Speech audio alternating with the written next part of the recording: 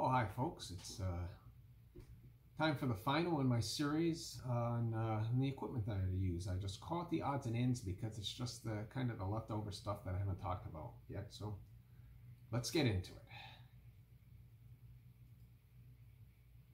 Okay, so the agenda today is uh, first I'm going to talk about food storage, not food itself, except for how it relates to the storage of the food. Um, my hiking boots, very personal thing for everybody. Um, trekking poles. And after that, that's really the end of the equipment. We're going to visit the concept of base weight, and I'm going to do a, a quick uh, case study on how I might uh, further reduce weight, uh, giving just an example. Okay, so when it comes to food storage, um, generally I just keep food in, in stuff sacks. Um, you know, Darlene finds stuff sacks for me all the time, and, and uh, one of the things when we get into the routine is going to be, you know, what do you put in which stuff sack? Um, as I mentioned, there's my pack liner bag, uh, which I can use, doubles as a food bag if I need to hang it out. Um, finally, this is one of those little things that just makes life sometimes a little more convenient, and that's having this pastry container. I don't know, whoopie pies came in it or something. It's it's not real hard plastic. It weighs hardly anything, you know, less than an ounce. Um, it's strong enough that I can put trail bars in it, and that's really the reason I have it, because in my pack, my trail bars would get all squished, uh, but by having something like this to put them into, I can get probably a dozen, you know, uh, two or three day supply of uh, trail bars in here.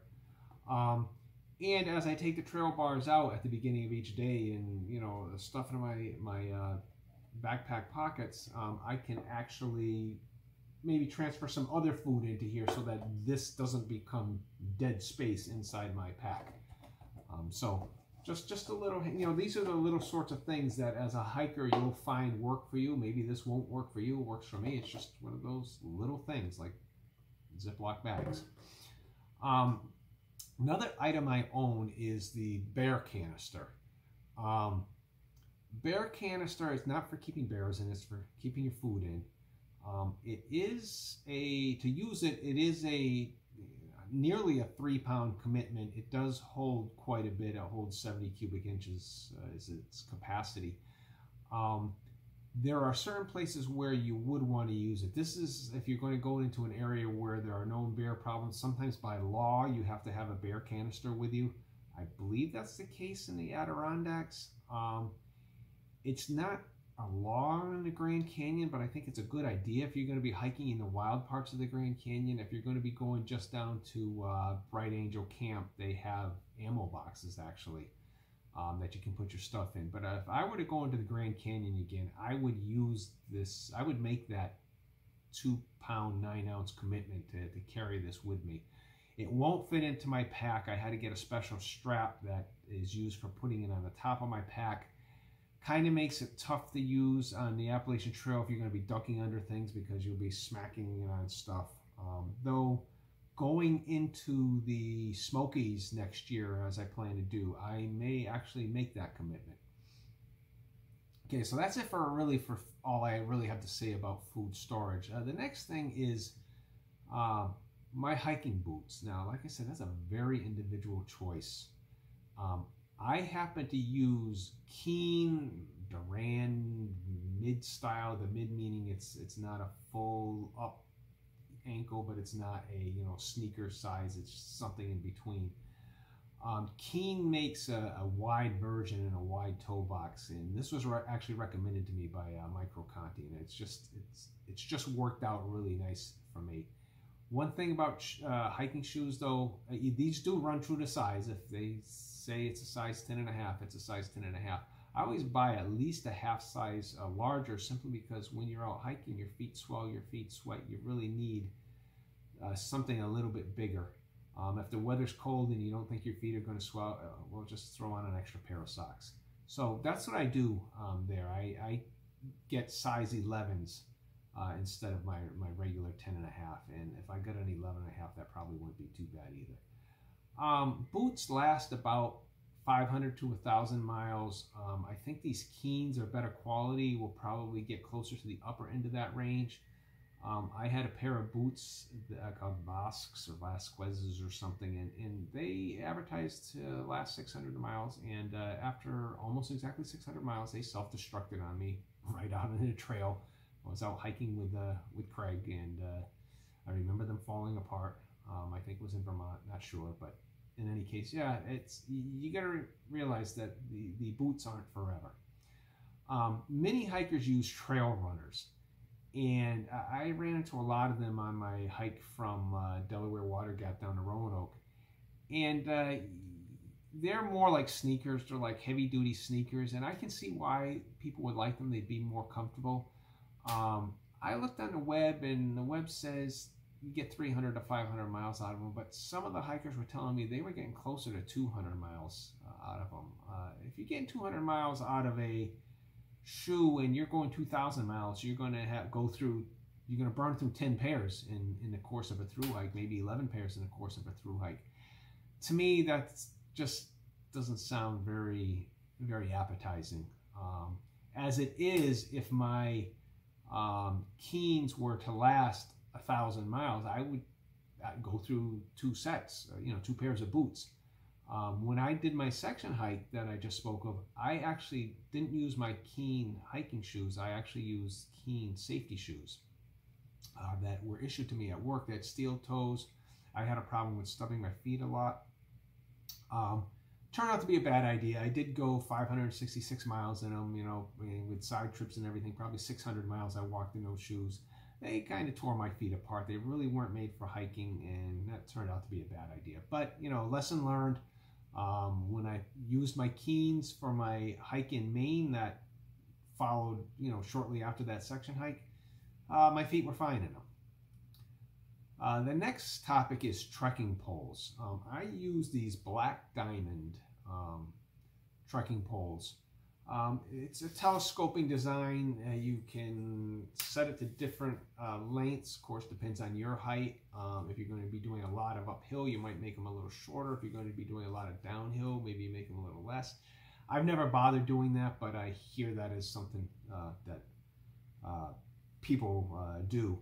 Um, they these do act also as my uh, tent poles, and the fact that they are um, adjustable in height is even good for the tent poles because uh, I have to have them a little higher than I hike with them uh, for my, uh, you know, when I'm setting up my tent. And if I'm setting up on a tent platform, it's a different height than if the this part here is going to be buried into the ground. You can see I'd have to, you know, add that much to the, the length of the pole. So it's really good to have them as adjustable. One thing about the adjustment, you'll see this kind of snap in place thing really makes them sturdy. I mean, they have never come apart on me on the trail except for one time I took a really bad fall. That was in Maine when I talked about my first aid kit. Um, and that's the only time uh, that I, I had that problem. I guess I should have held them like this so they so you can actually read the black diamond and the alpine carbon tip. Um, I had another pair of uh, hiking poles, uh, trekking poles that had more of a, uh, they didn't have this kind of latch. They had a, you, you twist it and something internally would open up and by friction, they would hold in place. Really bad design, really an unsafe design. I ended up throwing them out. I would never recommend that design. I don't even remember the brand. It was a reputable brand, but it was just a bad design they kept on as you walk you turn you know you just normally twist them twist them a little bit as just your normal motion. And that would cause them to come unlocked and slipped. And that's very dangerous especially sometimes you do have to depend on these uh, you know and you may have to put your weight on it uh, at times uh, when you're climbing up or down, especially dangerous on the Grand Canyon. I had one collapse on me right near the edge of the plateau, um, and that's quite a drop. And fortunately, I was able to catch myself. But I got rid of those that I had then, and now this is what I use. Okay, so that's it for equipment. I'm done talking about equipment, um, about the specific equipment that I use. But let's talk about uh, the concept of base weight. Um, base weight is this thing that uh, hikers throw around, you know, when they have different categories. Ultralight base weight is this, super light. It doesn't really matter that much. Uh, the categories don't matter that much. Uh, but a base weight is basically everything in your pack excluding consumables. And by consumables, I really mean food. I mean, obviously you consume food. Uh, your water, stove fuel, and probably toilet paper. Um, there are other things that are kind of sort of consumables. I mean, they really are consumables. Uh, my first aid kit uh, contents, um, if I have to use any first aid. My hygiene kit uh, contents especially, I mean, you can imagine the, the Germ-X I use up as I go along, um, the toothpaste I use up as I go along, the soap I use up as I go along. But, you know, these are things I don't have to usually I have enough to last me for the whole trip, so I don't have to replenish them. So maybe instead of consumables, I should say they're replenishables. Um, another sort of in that category is just my sunblock and insect repellent. Again, I usually just I have enough with me to get me through the trip. Um, you know, if I'm going to be out there for 40 or 50 days, that's you know probably the longest trip that I'll, I'll be going on, maybe a little bit more uh, maybe closer to two months next year. Um, your water filters are actually a consumable. Remember I said they had, uh, depending on the filter, 750 to 1500 uh, liter capacity. Eventually that runs out, the filter's no good anymore. If you're using other kinds of water treatment like the Aquamira I, I spoke of, that's also a consumable in the strict sense. And again, probably you bring enough for your whole trip with you, so it's not something you have to worry about uh, re uh, replenishing. Um, and like I just talked about boots, boots are technically a consumable. And when you come down to it, everything's a consumable. Your tent's a consumable. Your, you know, uh, it's eventually going to wear out, break, rip, whatever, and you're going to have to replace it. So in that sense, things are consumables. But what I mean by consumables really are things you need to replenish as you go on the trail. Why do we make a point about base weight? Well, because the other weight is variable. So this is like your fixed cost of hiking. And you can make decisions uh, knowing what your base weight is and how much of the other stuff you can carry. Um, you know, do you carry a whole day supply of water? I typically try doing that. Um, but if I'm going into a, an area where I know there's good uh, water supplies for me to filter out of, um, maybe only go with a half a day. Um, just and that's less stuff I have to carry. So it's time for a weighing. Um, I'm not going to show you the weighing. Uh, my uh, my backpack, um, my target was to get this base weight uh, down to 15 pounds. Um, so I'm going to weigh it. I have to use the cat weighing methodology. And by that, I mean I have to weigh myself. I have to pick up my pack and weigh myself on the bathroom scale, which is good to two tenths of a pound. Um, if I'm up at 15 pounds, then my, my 10 pound uh, antique scale that I used for the, the big three when I weighed them just, you know, doesn't have the capacity. So the base weight is not including consumables. I'm also not including the bear canister, a mess kit, or the kitchen sink because these things were optional. I mean, yeah, for a particular um, hike, they may be part of the base weight, but I'm just kind of talking about my generic hike where I don't bring those things. Um, the clothes on my back, uh, but the clothes in my pack will be there. Um, my trekking poles, because I carry them, my boots, because that's um, something I'm wearing, and my phone and my wallet, because those are in my pocket. So those are things I don't have to weigh. So bottom line is I went and I weighed all this, and it was 16 pounds, 8 ounces. So pound and a half higher than what my target was, 10% um, higher. So the question comes, does it matter? Um, you know, is this really a concern? And I guess it's just it's it's just a matter of definitions. I mean, what difference does it make if I say, well, 15 under 15 pounds is ultralight, and under you know, or super ultralight if it's under 10 pounds well, I'm at 16 and a half pounds. Does it matter what I call it? It's, it's basically the figure I have to work with, knowing that my capacity is somewhere around 30 pounds. That means those other consumables that I start out with, you know, I can go a day maybe a little bit heavier, so I can bring 16 pounds of consumables out of a fresh resupply. and then I'm going to kind of, you know, eat that down and burn that down or what, wipe that down, whatever.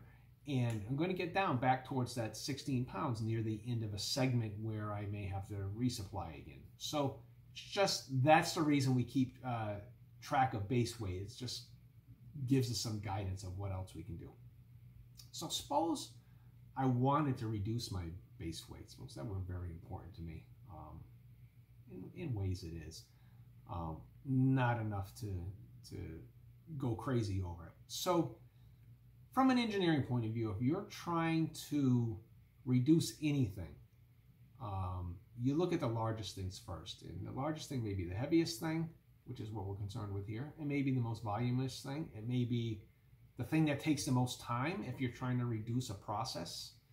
Um, it may be the thing that costs the the least, uh, the most, the thing that costs costs the most if you're trying to reduce like home expenses. Uh, you know, if you can refinance your mortgage to reduce your rate by 1%, um, that's going to save you a lot more than, you know, worrying about uh, your, you know, your phone bill.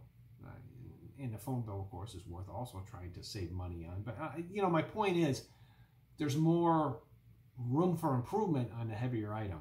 So we're going to look at my tent. It's not the heaviest thing in my pack. I guess you'd say my sleep system is, but my tent maybe is the is an individual item that has a lot of capacity or, or chance for improvement. So as you know, I have a Z-Packs duplex tent. It weighs 28 ounces when I consider the stakes in the stuff sack and in the fact that I did get the heavier material. Now there's some alternatives that I could consider. I could consider a tarp. A tarp weighs anywhere from five to seven ounces, and you can get them in the Dyneema uh, fiber um, that I spoke of that my tent is made out of. You can get it from Z-Packs.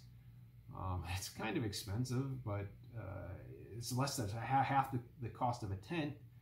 And, and like I said, you can get it down there, but the problem with a tarp is a, tarp is to a tent what like a pavilion is to a house. Yeah, the tarp can keep you dry. Not going to keep the bugs out because it's just a, it's just a like an overhead fly. Could be dual use. If I were in the Grand Canyon, I might actually consider a tarp because uh, you know you set it up during the day, you get your shade. Well, if the material is dark enough and doesn't allow the, the sun in. Um, but that's something that a lot of I see. I shouldn't say a lot. I see some hikers doing. They use a tarp. They go very primitive. To me, it's not worth uh, the risk of getting drenched uh, because uh, of a wind or uh, water running underneath you. It's just like, I, I, don't plan on doing it, but it is an option. So another option was be the Z-Packs Plexamid tent. They have a lot of different tents. I just happened to pick this one because, uh, you know, I saw some reviews on it and it is a, it is like the one person version of the duplex tent.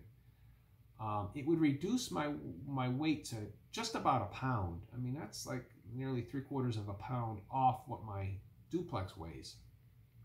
Um, of course, reduce weight means reduce something else. Um, it reduces my, my floor space by seven square feet. Uh, the, the duplex has 28, almost 28 square feet. The uh, tent, which is a one person tent, um, is uh, just under 21 or just over 20 uh, square feet. Now I use 14 square feet for sleeping in in my duplex, half the tent, and the other half of the tent I use for my um, equipment. Um, but I use the 14 square feet because 14 square feet is what's available. Um, you know, I just take the stuff out, I spread it around, I can get the things easily. Do I need 14 square feet? Maybe not. If I were to still use the 14 square feet for sleeping and I had a Plexamid, then I'd still have 7 square feet of floor space uh, for my equipment. And I might very well be able to live with that. Um, another thing it reduces, it reduces my wallet by $575 because that's what the Plexamid is actually selling for right now.